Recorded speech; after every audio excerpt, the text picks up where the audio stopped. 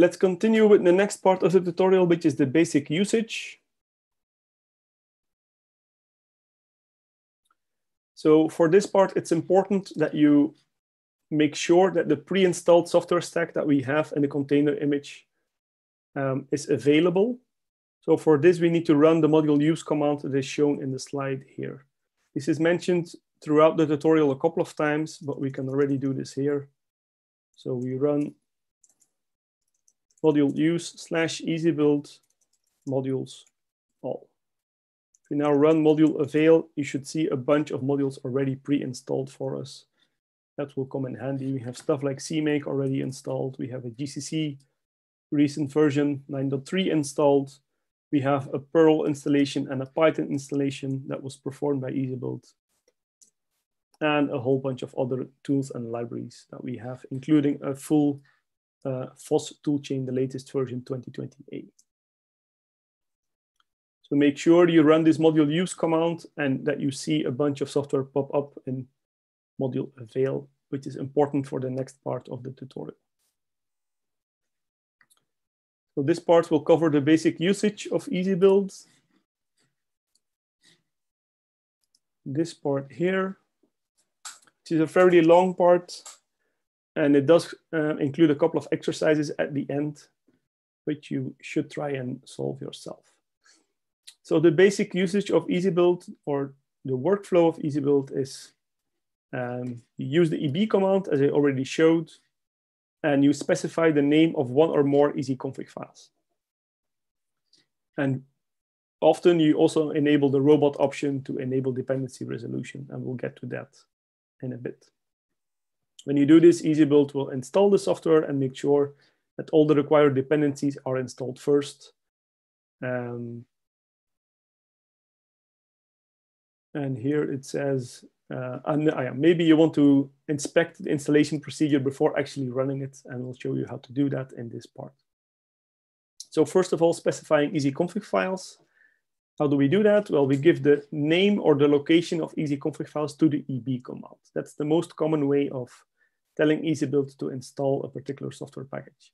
There's alternative methods like the dash dash software name option, but these are not really used uh, too much and they are not that easy to work with. Uh, so usually people specify the name of the locate or the location of EasyConfig files. There's a couple of ways to do this. It can be a relative or an absolute path to a config file, so the full location. You can just specify the name of an EasyConfig file, or you can specify the name or, the, or at least the path to a directory that has easy config files in it. So these are subtle differences. Um, we have an example here that hopefully clarifies it a little bit. So this is the type of directory we have.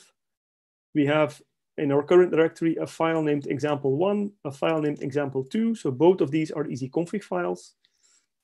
Um, we have a directory, some depths, which has two EasyConfig files in them. So usually EasyConfig files have a .eb extension, but that's not strictly required. It's just smart to do that because then you can easily tell they are EasyConfig files. Um, it has a list.txt file, which we will ignore in this case, and a subdirectory more deps with another EasyConfig file. If we now run um, this command with EasyBuild, so this has a couple of arguments. Here we give the name of an EasyConfig file that's included in the EasyBuild installation. So EasyBuild will first check in the current directory, is this file there? If it's not there, it will go and search in the robot search path for this file, and it will it should find it there since it's part of the EasyBuild installation. The next one, it will do it again, a check in the current directory. It will find this file, um, and then it will be happy. It will pick it up and parse it as an EasyConfig file. Same for this one, except here we are using an absolute path to the file, which in this case works as well, since the assumption here is that all these files are in the home directory. And then the fourth argument is a directory, some deps, which has EasyConfig files in them. This will make EasyBuild scan the directory recursively and pick up all the files that have a .eb extension in them. So this has to be done with some care. If this is a, a top level directory with thousands of directories in there, EasyBuild will scan all of them. So this is something to do uh, with some care, I would say. But if you know it's just a directory with directly EasyConfig files in them, it's okay to do this. So this explains this in detail. Um, the names of easyconfig files um, do not matter as long as you specify them to the EB command itself.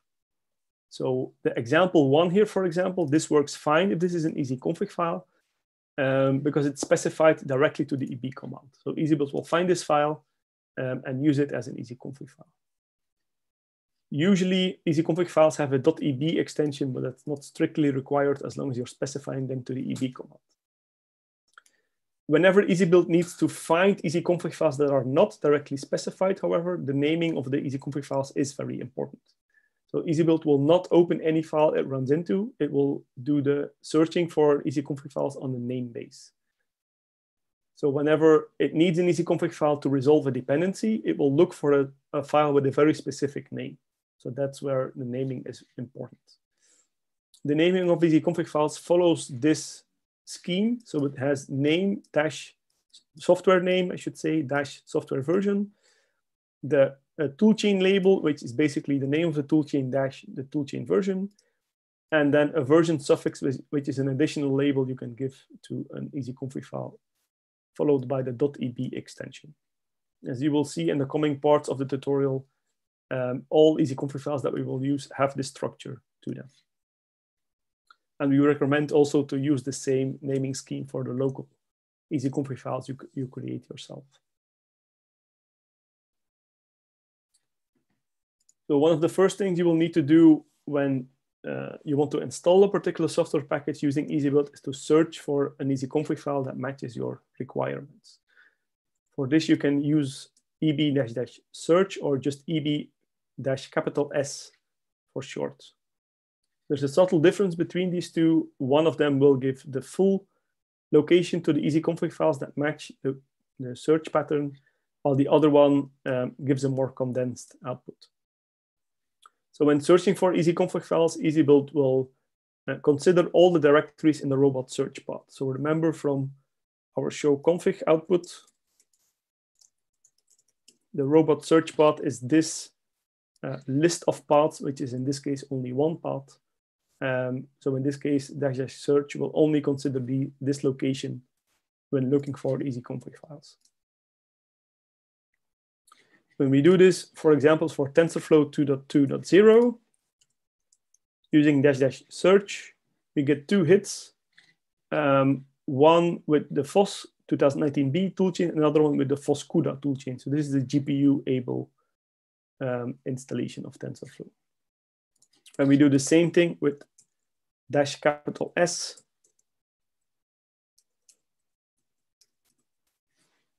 Uh, then we get the same easyconfig files, of course, but the output is a little bit different. So here it sees there's a common prefix to these easyconfig files. So it, it sort of defines a variable for the prefix and then only gives the name of the easyconfig file. So it's a, a little bit easier on the eyes or to copy paste.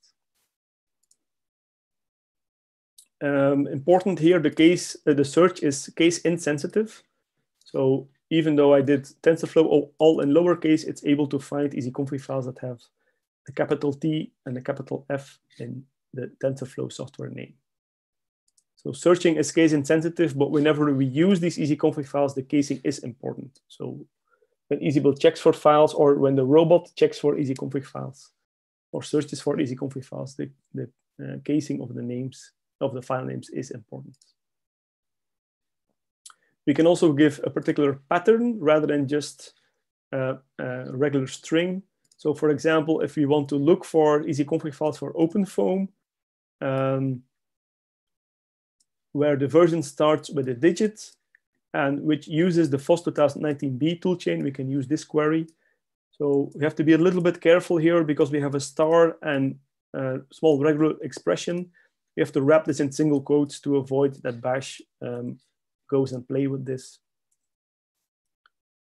So when we run this, we get two easyconfig files for OpenFOAM version 6 and version 7. Whenever you do a search with EasyBuild, you will see a line, or at least a sufficiently recent version of EasyBuild, you will see a line like this pop up. Um, so EasyBuild has a, a search index um, that is automatically created for the easyconfig files included with EasyBuild, which speeds up the search a bit. So this directory now holds almost 10,000 easyconfig files. And when, when this directory is on a shared file system, it may make the search a bit slow. So that's why we added um, a search index as well. And you can create your own search index for additional locations um, where you have easyconfig files located. There's more details on this in the EasyBuild documentation behind this link for the search index. Then when we know um, the name of the easyconfig file we want to install, we may want to take a closer look at it first before uh, letting EasyBuild install it. For, for this, we can use the show EC, which is short for easyconfig um, option. So EB show EC, and then the name of one or more easyconfig files if you want to. Let me pipe this through less. So this shows us the contents of the easyconfig file. So this is an easyconfig file for bzip um, 106, which is not a surprise based on the name of the easyconfig file. It shows the metadata, the homepage, and the description. It shows the toolchain, in this case, the system toolchain that would be used, um, where it would download the sources from, what the source file would be named like, and here it's using a constant that we will use later as well. This even includes a patch file for adding a package config file to the installation. Um, it gives the build options for the build command and so on. So all of these details we will go through um, when we get to writing easy config files ourselves. But the show EC option is handy uh, for checking the contents of an easy config file before you start playing with it. Maybe you want to double check it's actually the bzip you're, you're after and not just any other software package named bzip. Another thing you may want to do uh, before installing software is checking the dependencies. So this is where it's important that you have run module use, EasyBuild modules all to pick up on the installed software we have in the container image. Um, so one way to check for dependencies is using a dry run, which is eb dash dash dry run. Or again, we have a shorthand for this, which is eb minus capital D. So again, here you give EasyBuild the name of an easy config file and you use minus capital D when running this. When you do this on this easy config file, which is one for SAMtools 1.10 uh, installed with the GCC 9.3 compiler toolchain. When we run this, we quickly get an answer back.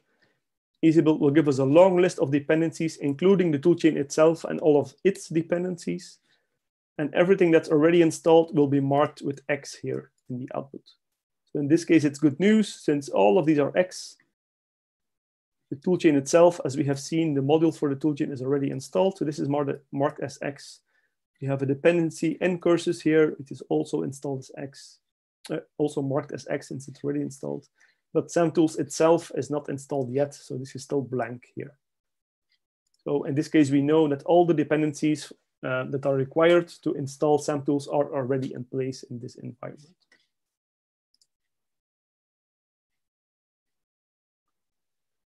So this is a long list of dependencies, which is a bit hard to stare at. We can also ask EasyBuild to only tell us about missing dependencies. So let's let me do this on the SAMtools one. So dash dash missing or dash capital M in this case, as we've seen, only SamTools itself is missing and everything else is already installed. So this is a bit more um, easy to look at maybe. The example here does the same thing for H5Py. So we're, here we're using an easy config file for H5Py version 2.10.0. In this case, with the FOSS 2020A toolchain and with Python 3.8.2. If we run this, EasyBuild will tell us that we have two installations missing, of course, H5Py itself, and also the package config tool, um, or rather the Python wrappers for the package config tool, which are required as a build dependency for installing H5Py. So we're still two modules missing to have this H5Py installation in place. Next to checking dependencies, maybe we also want to get a closer look uh, or take a closer look at how EasyBuild will exactly uh, perform an installation. So, and we may want to do this quickly not just waiting for minutes or maybe even hours for the installation to run and then check afterwards what it did. So for this, there's a separate option, which we call extended dry run. So it's a bit of a weird name maybe, um, but it was for lack of a better one that we could come up with. There is a shorthand as well, EB-X. This will basically run through the whole installation um, and just produce output without actually doing anything at all. So this will run in seconds and this will give a quick report on what EasyBuild would do um, if it installs this software. If you do this with the boost easy config file we show here, so we run again EB command, the name of the easy config file, and we add dash X to tell it to do the extended dry run. Let me pipe this through less because this will generate quite a bit of output. And we can scroll through this a bit. So here it tells us which easy config file it's picking up. So the robot search mechanism has found this easy config file as we specified it. It knows the full name. It tells you here that the installation procedure reports on may diverge a little bit, and this is covered in the uh, in the text here in the tutorial as well. Um, it tells us which easy block will be used, where the easy block is located in case you want to check the code, which module it will in, would install, um, which URLs it will consider for downloading the sources. And in this case, it doesn't have the source, whoops, doesn't have the source yet because it says it will download this source file to this location. If it would have found the source file, it would have told, told us source file is found at this location on the file system. So in this case, it still needs to be downloaded.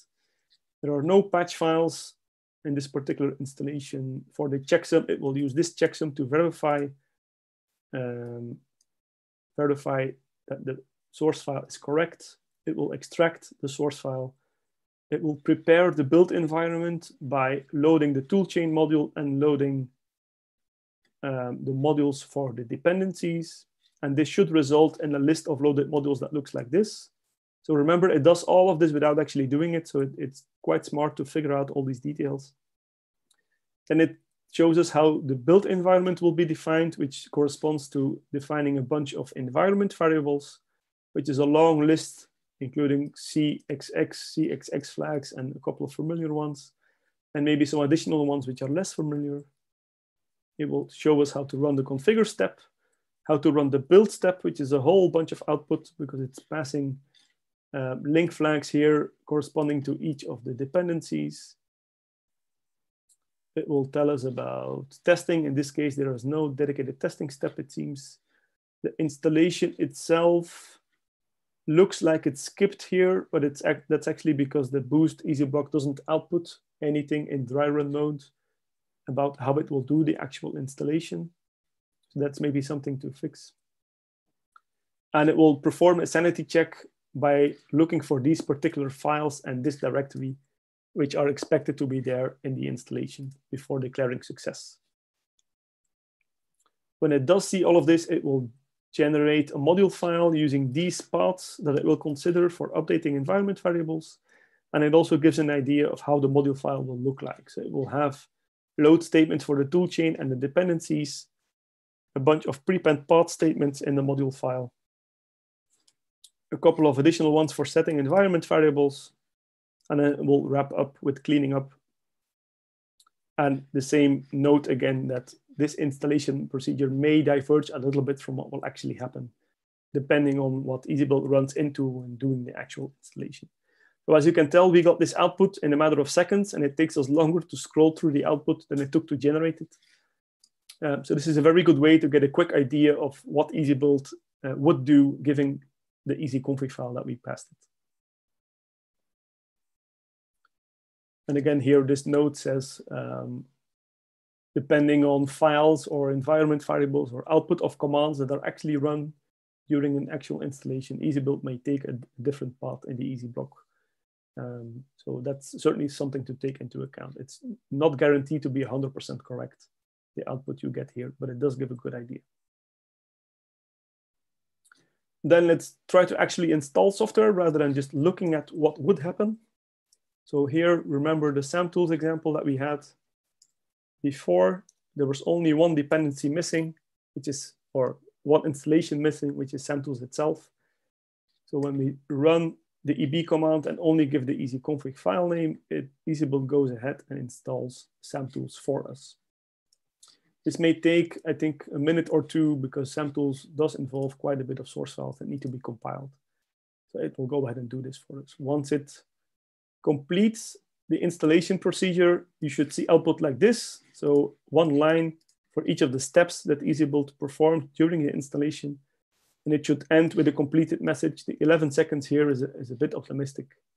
Um, in the AWS environment, we have a lot, a lot less resources, but it should finish in about a minute or two. And that's really all there is to it. You give EB the name of the easyconfig file, you hit enter, um, and then everything happens automatically for you. So in this case, it completed the installation. Remember, we had EasyBuild configured to install stuff in EasyBuild in dollar $EasyBuild slash home.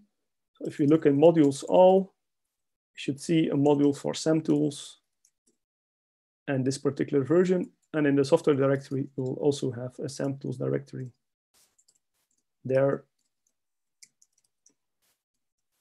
for this particular version of SAMtools, which has the actual installation. So is it that easy? Always? Well, mostly. Um, it depends a bit on the context. So if you have a bunch of dependencies missing, like for example, for this bowtie software package, with dash M, we can check which dependencies are missing. We have two missing here. If we now ask EasyBuild to install bowtie for us, like we had before, this will actually fail after um, EasyBuild downloads the sources, which will hopefully not fail in this case. Um, the installation will fail because the TBB dependency is still missing. So this one is not there. And here, of course, it's failing on the source files. That's not fun. So there's, an, there's a problem with source for source, source forge, which I guess is the issue we're hitting here. Um, let me see if I can locate an alternative location for the sources. So I can pull them in here. Name of the source file is this zip ball. So usually EasyBuild does an automatic download. And of course, this is hosted on SourceForge. Maybe this one gives us an alternative link. that we can try. This is maybe not a bad example if you run into issues like this. That was a bit quick. Yeah, this is an HTML document, not what we need. Okay, so I'll, I'll divert to a different example since the sources cannot be downloaded currently. Um, let me see if I can find another example. So what, what was I trying to show here? Um, there was a dependency missing. So if we just run EB, but the easyconfig file name, um, the installation should fail after fetching the sources because the TBB dependency is missing. So you'll see output like this, missing modules for dependencies, which is copy pasted here. TBB is missing. Um, in this case, the fix is quite simple. We have to enable the dependency resolution by using the dash dash robot option or the dash R option for short.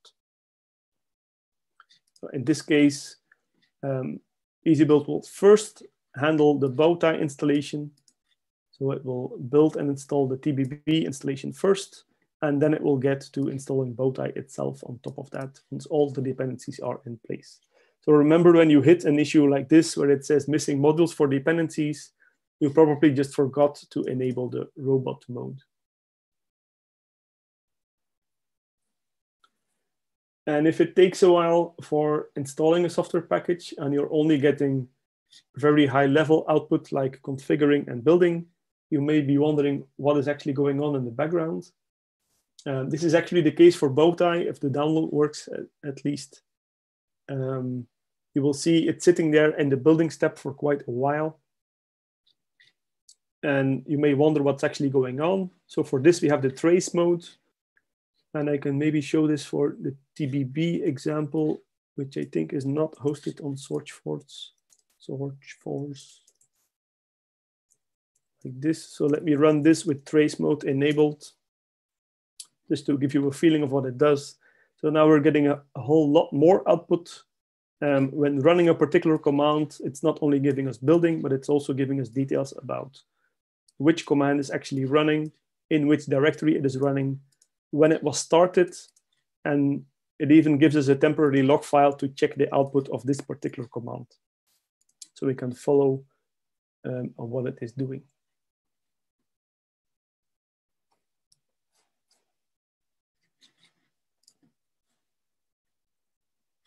And eventually it completes and it gives us a good idea of uh, what the output or what the sanity check was checking for. So this is the trace output, uh, which gives us more details about what's actually going on in the background while EasyBuild is installing the software.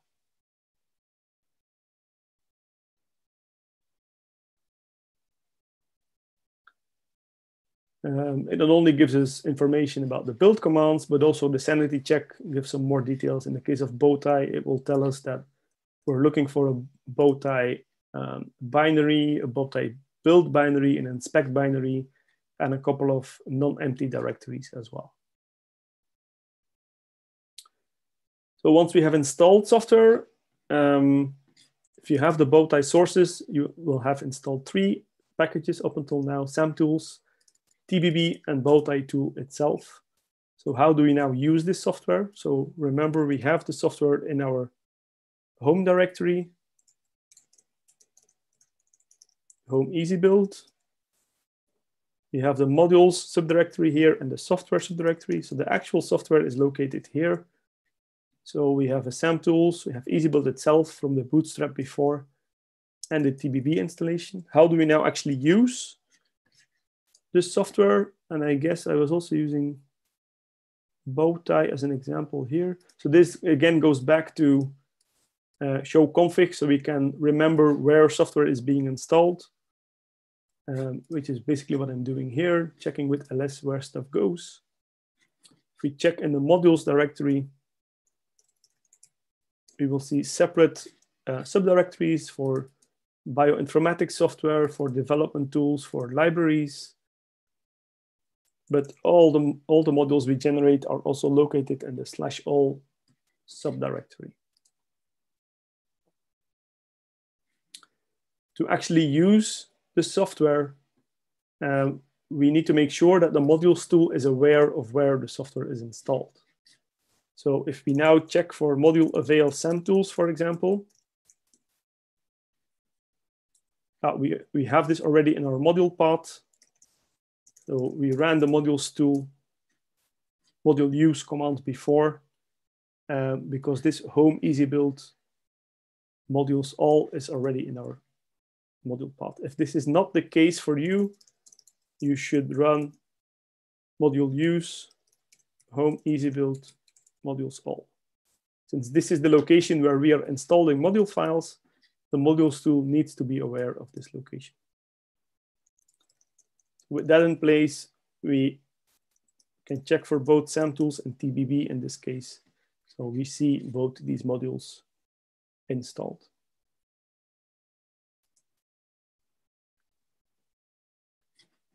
And if we have the both bowtie sources, we should have bowtie as well. And maybe, I think this one was installed after the configuration part, which is a, a quick installation with the system toolchain, which I haven't done here in the demo. So to actually use the installation, we have to load the corresponding module. Let me do it here for SAMtools. So we do module load and the name of the SAMtools module. And now I have to take a quick peek what's actually there in the installation so we can check which commands provided by Bowtie. Home Easy build software. Ah, SAMtools, not Bowtie.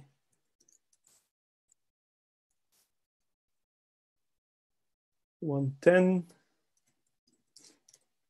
And here in the bin directory, so for example, we have the SAMtools command, which may have a dash dash version option like this.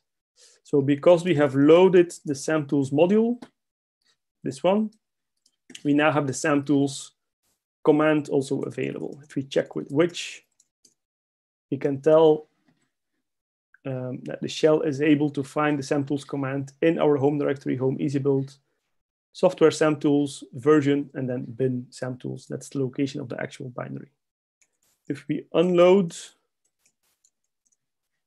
the SAMtools module and then try again, we have lost the SAMtools command because it's no longer um, an active, actively loaded module. So the example here shows this for bowtie, where we don't have the bowtie command until we load the bowtie module. And from there on, we do have the bowtie command available and we can run dash dash version on it. When you have loaded a bunch of modules, so module list currently shows uh, the, still the modules loaded for the toolchain and the dependencies of SAMtools. If you want to reset, start over, you can unload modules like I did for SAMtools. Or when you just want to start from a clean slate, you can run module purge, which will unload everything you've loaded before and starts from a clean slate. So this is one of the reasons we didn't want to have EasyBuild itself as a module um, because then we have to make sure we reload the EasyBuild module after running module purge. Stacking of software, this is a small section that basically says you can build additional software on top of other software, which is exactly what we're doing here actually, because, so let me load the SAMtools module again. We check where SAMtools is, we can see it's in our home directory, which is where we have self-installed this. But if we, for example, check where GCC is located, which is the toolchain compiler we are using, uh, we can see it's in slash EasyBuild software. So this is part of the pre-installed software stack in the container environment. And we, this, is, this may be a location where we don't have write access to. So even though this is not software we installed ourselves, we can still lever leverage it for doing our own installations. So you can easily stack software on top of each other. You don't have to reinstall everything um, in order to install SAMtools or any other tool you're interested in. As long as you have a compiler toolchain and maybe a bunch of dependencies like Python and Perl already pre-installed for you, you can just leverage those and build what is missing uh, based on what you need. So here there are a couple of hands-on exercises uh, that work you through the workflow. And most of them are fairly simple. Um, so hopefully you can spend, let's say, about 10 minutes to walk through them before we continue with the next section, which is uh, a troubleshooting part. So please take a look at the exercises here and try to work them out yourself before we continue.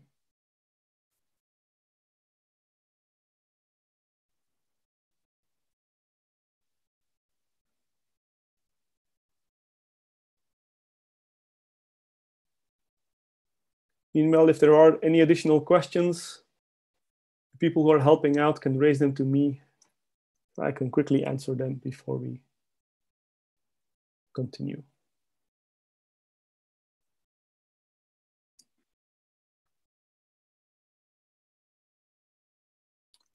Somebody's passing me a question. Um, you set the build environment by loading module files are using the same module outside of EasyBuild to let users employ the software. So when EasyBuild prepares um, the build environment, when it's installing a particular software package, for example, SAMtools, it will load both the compiler toolchain, the module for the compiler toolchain, and the modules for all of the dependencies. Then it will go ahead and do the installation. And in the generated module file for the installation, it will again load the compiler toolchain and the dependencies, the runtime dependencies. Um, also, during the sanity check, before EasyBuild runs the sanity check, uh, which often involves running small commands like dash dash help or dash dash user, um, EasyBuild will actually load the module just like a user would and then run the commands just like a user would. So that's a way, an easy way to um, make sure that the software seems to be functional. We usually don't run extensive tests um, in the sanity check, but some quick commands that give some idea of how well the installation is working uh, are being run. So I hope that clarifies that question a little bit.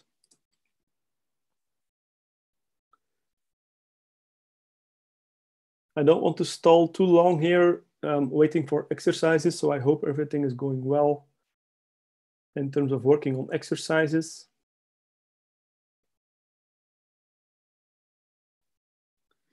Let's take a quick look at what we have here. So the first exercise is to make installed software available, which we have covered with, in our case, the SAMtools example. So here, of course, make sure that you're using um, the pre-installed software stack so you don't have to reinstall everything from scratch. So run this module use command to make sure you're picking up the modules that are installed in slash easybuild. To search for easyconfig files, let me wipe my environment here.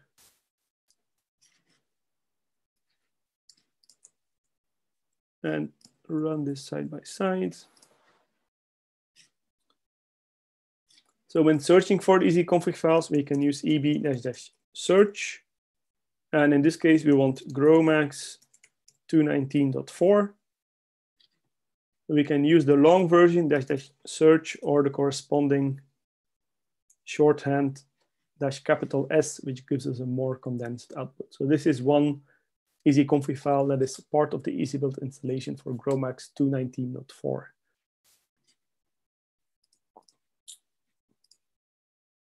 Then to check for dependencies, here we are asked um, which dependencies are missing to install a particular version of the PETSc software package when using the 2008, 2020A version of the FOSS toolchain. So first of all here, um, we'll have to look for an easy config file that matches this. So we'll do PETSc 312 dot four. Uh, the toolchain should be in there as well. So we'll do dot star, the name of the toolchain and the version of the toolchain. And we'll wrap this in single quotes to avoid that bash starts playing around with the dot star here. If we do this, we get exactly one hit. So we have an easy config file for PETSc 3.12.4 with this toolchain and also for the particular version of Python.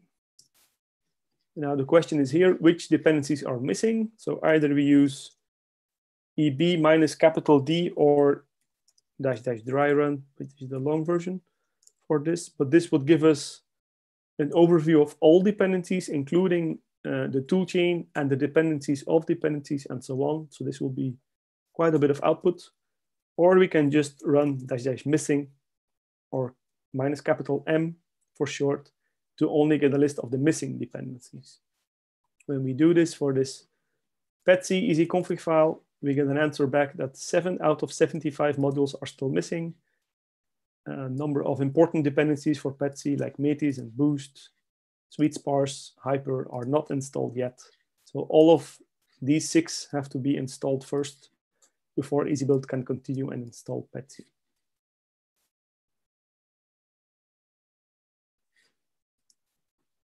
Then the next exercise is the dry run mechanism. Um, here we are asked to figure out um, the actual command that EasyBuild will run to install uh, the GNU scientific library using this easy config file. So here we get the easy config file, we don't have to search for it. And to, to figure out how EasyBuild would install something, we use the extended dry run mode or uh, just dash, dash lowercase x for short. And pipe this through less is a good idea since it generates a lot of output. When we do this and we scroll down a little bit or we look for install, deeper down in the output, we see during the installation step, EasyBuild will first create the installation directory and remove it if it's already there. And during the actual installation step, it will just run make install um, from what looks like the build directory. So that's basically answering the first part of the question here. And the second part, it asks which binaries will EasyBuild check for to sanity check the installation. Um, for this, we have to scroll down a little bit further to the sanity check part, which is here. So the binaries that EasyBuild will check for are these three, GSL config, GSN, GSL histogram, and GSL randist. So EasyBuild expects all three of these binaries to be available in the installation. If one of these is missing, EasyBuild will consider the installation to have failed and it will stop um, the installation. It will not generate a module file for it. If everything that is specified here is in place, then EasyBuild assumes the installation went as was expected.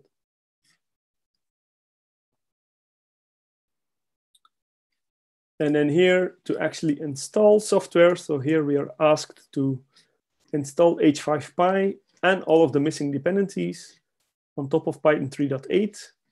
And to do this in slash temp user EasyBuild while leveraging the already installed software from slash EasyBuild.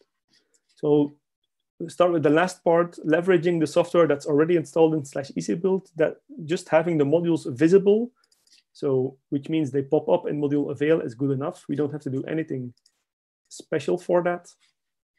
To install H5Py, we first have to locate an easy config file for it. It says H5Py for Python 3.8. So let's make sure our easy config file includes this Python version. This is the name of the easy config file we will need. We will pass this to the EB command. Um, we need to make sure all missing dependencies are also installed. So let's check on that first. So with dash dash missing, we can check which dependencies are still missing. In this case, it's package config and of course H5Py itself. So hopefully that doesn't take too long and hopefully the download doesn't fail on us to make sure it installs package config before it tries installing H5Py, we use the dash dash robot or just dash R for short to enable dependency resolution. So here it goes and installs package config first. So that's quick. Um, this installation completed, and then it continues with H5Py itself. Now this is taking a bit long, so let me cancel it, Control C, because this build step, I want to figure out what it's actually doing there. So let me also enable trace mode with dash dash trace.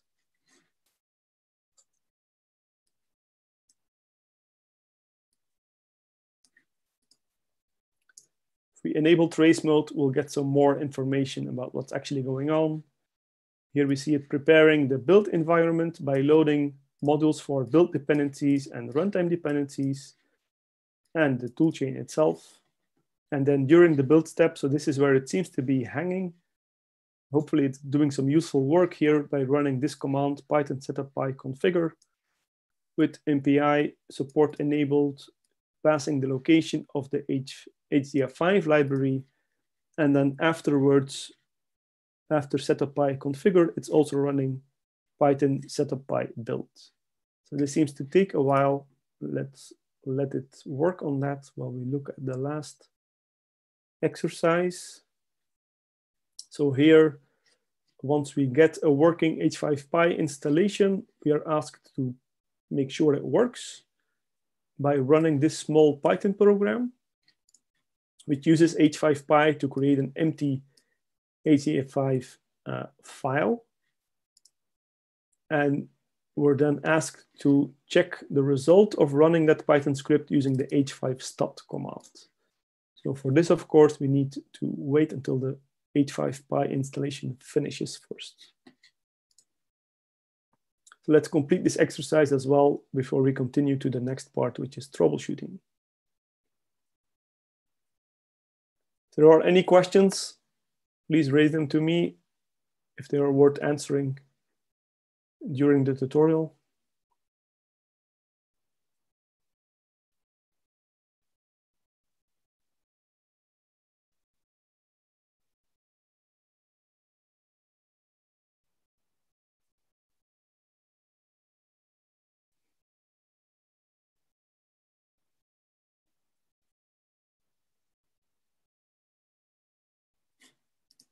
Okay, this H5Py installation completed. Did I actually do it the way I was supposed to? Well, I was supposed to install it in slash temp slash user, but let me ignore that for now, since it takes a couple of minutes to get this installed. Um, in this case, we should have the module available for loading already, since it was again installed in our home directory. So we can go ahead and load this module, assuming we don't have anything else loaded, that's fine. Do module load h5py. And then we are asked to run this small Python script. So let me copy it. And create a file here. Let me use the AWS file browser for this. So here I use the plus here to create a new file. Copy pasted the contents of the file. And when I do Control S, it lets me save the file. I can give it a name and a location. I'll put it in the directory that we've mounted in the container image. And I'll name it test h5py and save it. Of course, you can also directly create the file here in the terminal using your favorite editor, whether it's Nano, Emacs, or Vim. Um, so the file should be here now. Since I have loaded the H5Py module, I can assume H5Py is available. So I should be able to run this Python script. Let me check the Python version 382, which corresponds to the one for which H5Py was installed. So I can run the Python script using Python and the name of the Python script. That should create an empty.hdf5 file for me. And then here I am asked to run the h5stat command on that to check it. Let me first make sure I have this available. This looks okay. The version looks a bit weird, but it's probably fine. I don't know how H5, uh, actually the version comes from HDF5 itself, not from H5Py. So that's why the version is different. We check which H HDF5 module we have loaded, it should say the same version as H5 stat gives us, which is 110.6 indeed. So let's run H5 stat on empty.hdf5, and this gives us a whole bunch of useful output about this empty HDF5 file.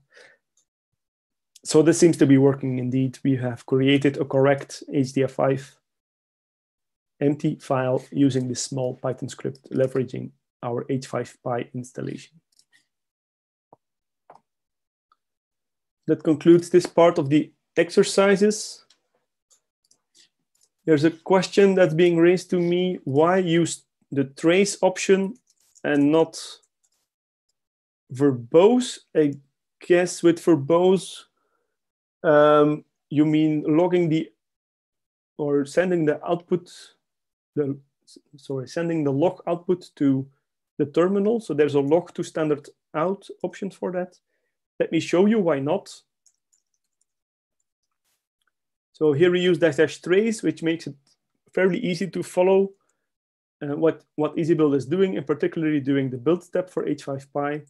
If we do redo this, so we do rebuild to reinstall H5Py, even though it's already there, and we use log to standard out to get all the details on what EasyBuild is doing.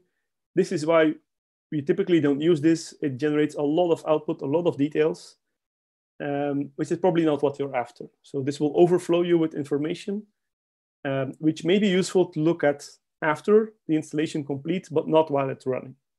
You can see there's a whole bunch of things going on here. We're getting warnings from Python. We're getting um, output from the build command, and this is just impossible to tell which is which.